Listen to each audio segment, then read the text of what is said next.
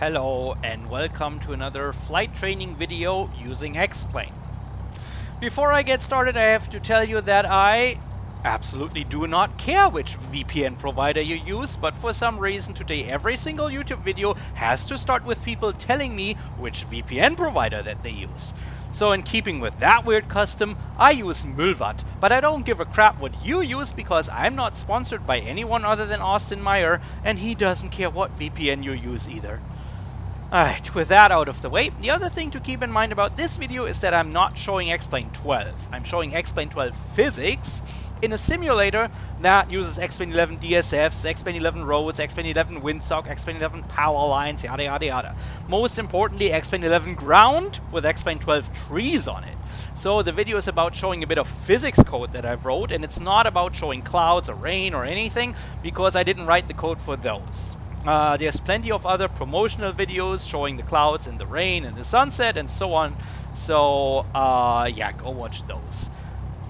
So the roads or whatever look like X-Plane 11 roads because that's what they are in my installation right now. So anyone who complains about that in the comment section can sort right off.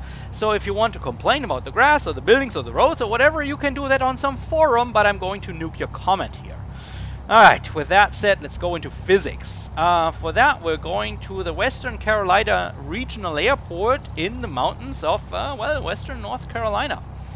If we look at the approach plate for the RNAV GPS runway 8 approach into that airport, we find in the briefing strip a symbol here, a snowflake with a minus 8C next to it. That means it's a cold temperature restricted airport. Um, and if you look down in the minimum section of this approach, you notice it is, the approach does not provide vertical guidance. It's either LP or LNAV. Um, there's no LPV, there's no LNAV, VNAV, which means um, your temperature, no, your altitude restrictions here, you have to meet with barometric altitude. You don't have a glide path. The GPS is going to provide an advisory glide path, but that's advisory only, so the only thing that's authoritative is this barometric altitude here, 4200 at the final approach fix, and 3980 at the LP minimum until the missed approach point. and those have to be read off the barometric altimeter, and with this snowflake in the briefing strip, you know you can only do this uh, up until uh, minus 8C at the airport, and if it's colder at the airport, um, then you have to apply temperature correction. Note that this minus 8C refers to the temperature reported at the airport that you get from AWOS. So it's not the temperature while you're up there at 6,000 feet. At 6,000 feet, it can be much colder than minus 8. So this minus 8 refers to the temperature reported at the airport. Alright, so if it's below minus 8, we have to apply cold weather correction. Um, with the FAA charts, you have to dig a bit in the chart supplement to find the table for that. If you use Jeppesen charts instead, um, they supply it for you right there. So the Jeppesen chart doesn't have a snowflake in the briefing strip. You have to read it. It says here under point 3, cold temperature, altitude correction required at or below minus 8C. And to do that, you uh, refer to the table here, the cold temperature correction table. I don't know why Navigraph puts it under taxi. It should be under ref. Um, but for some reason, Navigraph decided to put it here under the taxi chart, so it's next to the uh, airport diagram. Anyway, um, why this is important, let's uh, go into X-Plane and let's uh, look at how that works in X-Plane. So we are here on the ground at the uh, Western Carolina Regional Airport. You see uh, the airport elevation is 1698, so 1700 for all intents and purposes. 2992 is our default altimeter setting. And if I go into the weather section, uh, weather settings now, and I make it really cold, uh, so it needs to be below minus 8, so let's make it minus 20, let's make it really cold.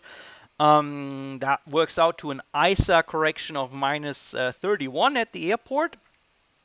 Uh, note that this value here just changed, the sea level pressure changed, even though the altimeter setting is still 2992. Or 1013. Uh, we haven't changed the altimeter setting at the airport, but what X-Plane 12 does with you changing the temperature profile, it uh, changes the atmosphere, uh, and that includes the atmosphere under the airport, the atmosphere, so to speak, absorbed by the ground already. Um, to a sea level pressure of uh, works out to 1021 here. So even though our altimeter setting stays fixed at 1013, we have changed uh, the sea level pressure under us uh, to 1021 so that the temperature gradient works out um, as as we can see. So if I apply those changes and uh, we now go from plus 11 to minus 20 C. Uh, you see the altimeter hasn't changed. It's still indicating 1700 uh, field elevation at 2992, which is uh, what we expect. Alright, so if I'm flying the approach now, listening to the AWOS, and I notice, holy crap, it's minus 20. So um, I need to apply a temperature correction to my uh, final approach fixed altitude, so let's do that. Um, the uh, altitude I crossed the final approach fix at is 4,200 and the uh, that's uh, 2518 so 2,500 over airport elevation. So I enter the correction um, table with uh, minus 20 minus 20 at the airport and uh, 2,500 here. So that works out to ah, I guess a little over 300 300 and a little bit um, of a correction factor that I need to apply. So in order to uh, fly at 4,200 true altitude, I need to fly at 4,500 and something um, indicated altitude on the altimeter. So uh, let's see how this uh, works out in X-Plane. So for that, I'm just going to, uh, well, I'm just going to put us in the air here at 100 knots, and I'm going to pull us back to where the uh, final approach fix is. Uh, there's Ruji, that's the final approach fix, so I'll put us out here at the 4,200 uh, altitude, and I'm just going to unfreeze the sim here.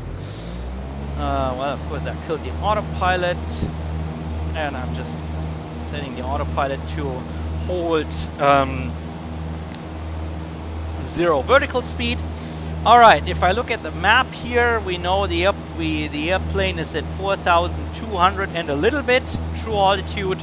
And the indication on the altimeter is, well, about 300 more than the true altitude.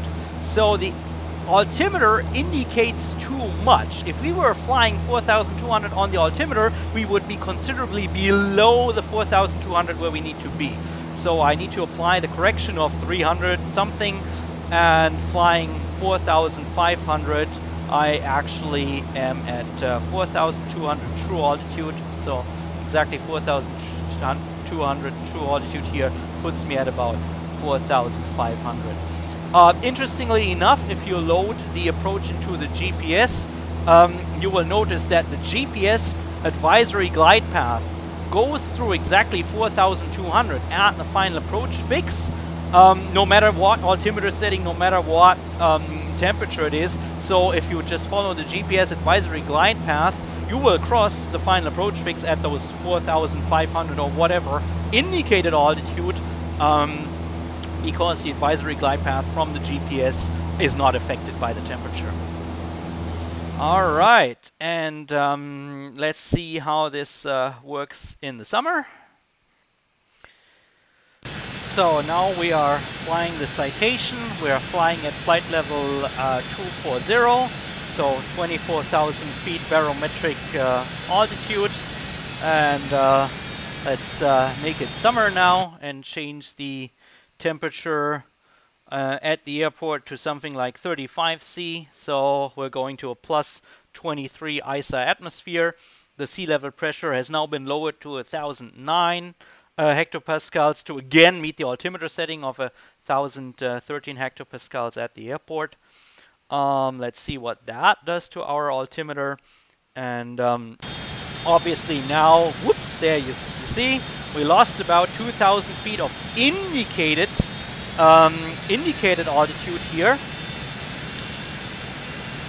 There we go, back at 24, flight level 240. So, what happens here if you're flying at 240, in the summer, flight level 240 barometric altitude, you are actually flying higher um, than you think you are because you are flying a higher true altitude than the indicated altitude here.